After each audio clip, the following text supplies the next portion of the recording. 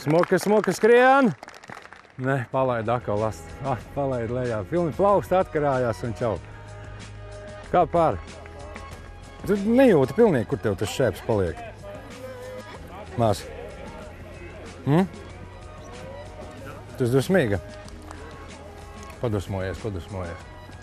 Protams, kad viņu tiek uztver pamatā vairāk tā kā, nu, kā tēvu, nevis tā kā treneri, vai ne? Nu, un es neteikšu, ka es šausmīgi ass esmu, bet, bet nu, tā uh, reizēm nu, man arī var tāpat, ka viņi, teiksim, var iekarst.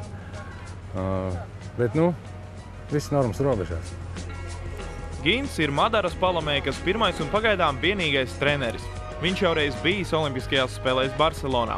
Toreiz 1992. gadā kā šķērsmetēja Mārķa Strobindera treneris. Pēc 20 gadiem palamēks atkal brauks uz Olimpiādi. Šoreiz kopā ar savu meitu. Lietas labo un uzreiz kreiso necel gaisā. Uz priekšu. O, o tur.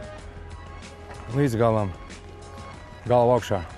Viņa ļoti pozitīvs cilvēks katrā ziņā, manā uztverē. Nu, viņai, un tas ir labi, protams, jā, bet nu, kādreiz jābūt tādam arī, kad nu, iekost kaut kur varētu. Bet ne tā ļaunā nozīmē, bet tā, lai tieši radītu to tādu, tādu, tādu asumu vairāk. Bet, bet tā, jā.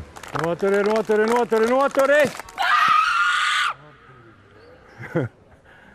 nu, kaut ko vismaz, kaut, kaut ko, kaut ko tu vismaz izdarīji. Par nenovērtējumu ieguldījumu sportiskās karjeras izaugsmē Madara LMT zelta medaļu novēlēja savam tēvam. Viņš savukārt pateicīgs sievai. Es noteikti medaļu nodošu mammai. Paldies, liels paldies, sirsnīgs paldies!